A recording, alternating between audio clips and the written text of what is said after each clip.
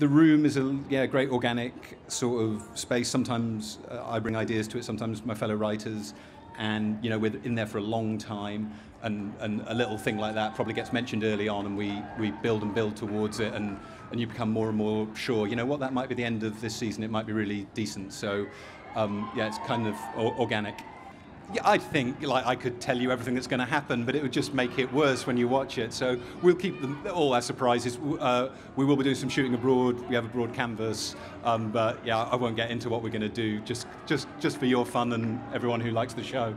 No, I mean we work really hard together as a group, but then the episodes are written.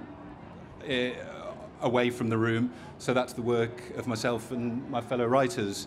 And you know, and that's nice of you to say because we work really, really hard on them and try and make every line as good as we can. And then we we work with actors who don't let us off the hook if there ever is a piece which doesn't have that rhythm, and and and, and we work with them to get it right.